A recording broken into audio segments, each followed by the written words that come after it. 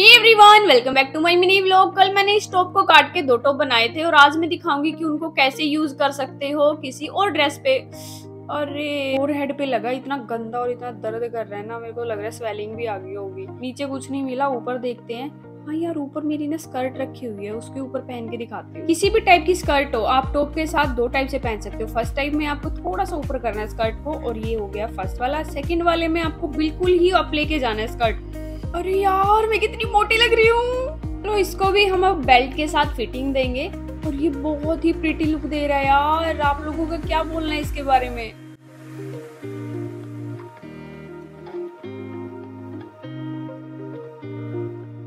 Guys इसमें मैंने जो नीचे वाला पार्ट था टॉप का, उसको पहना है। मैं ज़्यादा दिखा नहीं सकती बिकॉज़ मैं ज़्यादा स्लीवलेस पहनती नहीं हूँ। तो तीनों में से आपका फेवरेट कौन सा है? कमेंट सेक्शन में ज़रूर बताना।